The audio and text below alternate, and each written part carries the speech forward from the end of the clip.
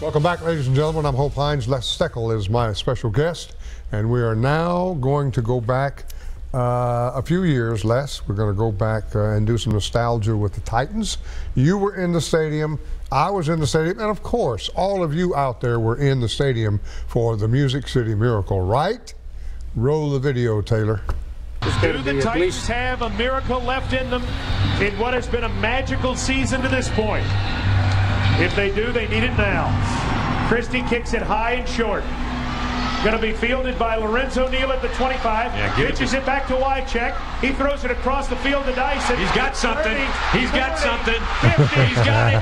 40, He's got it. 20, 10. He's got it. End zone. Oh. Touchdown Titans. There are no flags on the field. It's a miracle. Tennessee has pulled a miracle.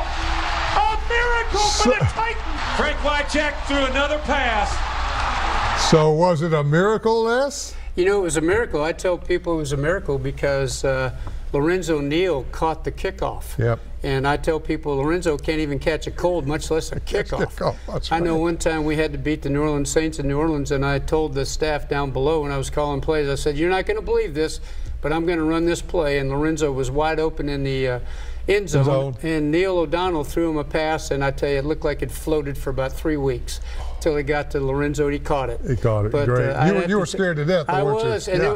it- when I saw Lorenzo catch the kickoff, I went, "Oh my goodness, there's a miracle in itself." Wow. Well, there were 16 seconds on the clock. Yes, there was. Against Buffalo, and I'm standing on the sideline. Mark Howard and I were standing there together because it was the end of the game, and I was turned around, Les, just kind of looking at. I wasn't even thinking this was going to happen. Looking at the people, see who I knew up there, and all of a sudden the crowd started, uh, and I turned around. And there was Dyson right there, almost stepping on my toes and going into the end zone. Uh, you talk about a shock. Wow. And of course, if it weren't for that, it wouldn't have been any Super Bowl, would there? No, it wouldn't. It was an exciting moment. I'll always remember. My wife and I wrote a book called One Yard Short. I know you did. uh, turning your defeats into victories. And in the book, I talk about those moments where I had such a tremendous uh, feeling towards those players. It was their first playoff game for so many of them.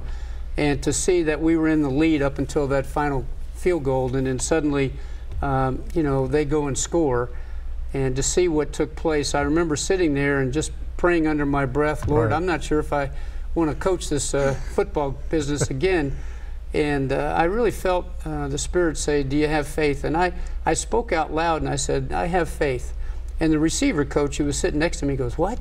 Yeah. And I said, I have faith. And uh, next thing you know, the miracle happened. So All I, we were all blessed. Now something else. It's uh, I guess it's been. Uh, how would you describe the final play of the Super Bowl? And we're going to see it here in just a minute. Well, it was a play that uh, honestly, I think we stayed up a couple nights in a row without going to sleep because we just felt like this was an opportunity to make a difference uh, for this city, for the fans, for the team. And uh, so I studied as much film as I had. We, we had a system where we called gotta win plays. And once you get to the 40 yard line or the 35 or the 25, whatever it is, we had plays for every five to 10 minute increments. And when we got to the 10 yard line, we knew that if we ran a, a formation with four detached, and that's why we split out Frank Wycheck, because we knew he would be our go to guy, they would double him. Uh, we had a good feeling what they'd play. So we looked at all 16 games and two playoff games, and when a team did that, they played only one defense. And my thought was, they're not about to change. They're not about to change their defense after facing a four detached and playing this defense. We knew what they were going to do. And I actually got the defensive coordinator in our book, One Yard Short, and he was quoted by saying, They had us dead to rights. Well, we came up one yard short. You did, and you did indeed. And I suspect, how tough was that for you to live with? You know, I was asked this question, and I certainly don't want to sound uh, like a phony, but I had as much peace going into that game as any, and at the end, I did as well. Uh, I know that uh, when we got the signed uh, pink slips or playoffs uh, from the ownership that year, uh, our prayer was simply this that we wanted Christ to be honored and, and glorified. And little did we know that Kurt Warner was handing out cards outside the Atlanta station uh, stadium and uh, sharing his gospel in his God, not his faith with uh, Jesus' gospel, and Right. people were turning around, handing cards out, and I thought, well, there you are. That's what we prayed for. Yep. But uh, it was a tremendous ride, and I I can't tell you how exciting it was to get to know people here in this community. Well, let's let's do this. We're gonna Taylor's gonna roll the videotape. I don't know exactly what we're gonna see here or how it's gonna unfold. It's the last few seconds and the last play of uh, Super Bowl when the Titans uh, lost to the Rams. Uh, Taylor, if you're ready, let's roll it. Maybe we'll score this time. Not a good thing. After the timeout. From the 10. Probably the final play of the game. In regulation. It is caught by oh. Dyson. Can he get in? No, he cannot. Mike Jones made the tackle. And the Rams have won the Super Bowl. No line. The game is over. The game is over. Now every Super Bowl should have an ending such as this. Down There, on the he's being line, gracious to everybody. you- call. Yeah, you know his heart is broken.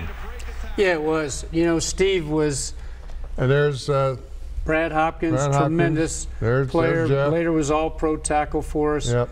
Dick Vermeil, Dick and I have uh, stayed in touch. He actually sent me a bottle of wine from his winery to uh, Oh, did he? say, I, I know how badly you must feel. There's Yeah. Frank Wycheck, who was one of my all time favorite players. And uh, Steve, without a doubt, was probably the most gracious, humble kid I've ever coached Yeah. in my 32 years.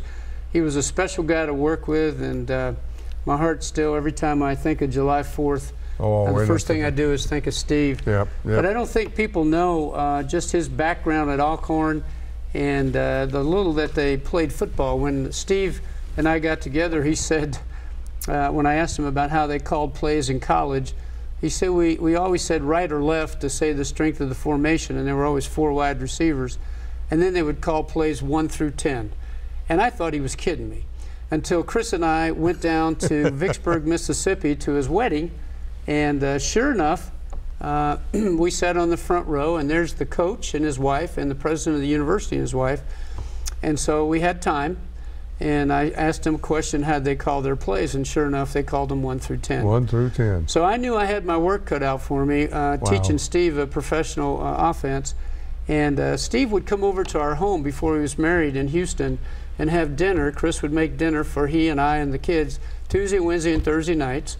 And I would get out the uh, equal and the sweet and lows. We didn't have Splenda then. Mm-hmm. And we had 11 blues and 11 pinks, and we'd show them formations and defenses. Wow. And we worked through that three days a week. And then we'd go upstairs, and I bought a beta cam when they named me coordinator, stuck the uh, tape in, and we'd look at film. He'd come back Tuesday night, Wednesday night, and then we'd give him the four day weekend, if you will. And uh, so, without a doubt, it was a blessing to coach Steve. He was a quick learner, Yep. a fun guy.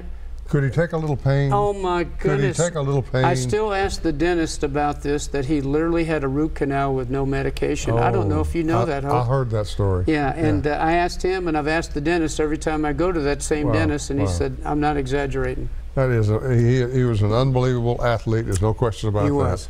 He could, he could, he could. He was injured during the week. Wouldn't even practice.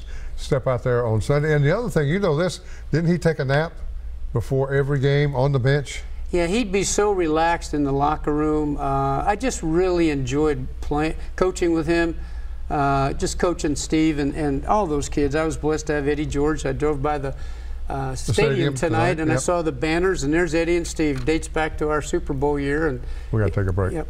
We'll be back with Les Steckel. We'll wrap it up, everybody, right after this.